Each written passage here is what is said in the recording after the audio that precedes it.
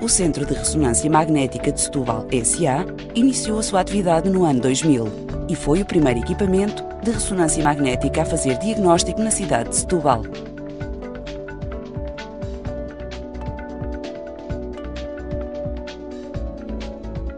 Com instalações criadas de raiz para o efeito, o centro dispõe de um amplo espaço que proporciona todo o conforto aos seus utentes.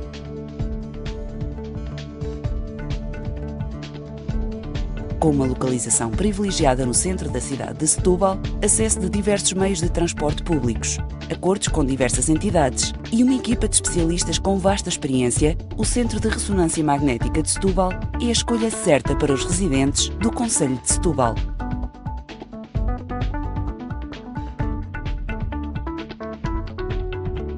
Centro de Ressonância Magnética de Setúbal, a sua opção em saúde.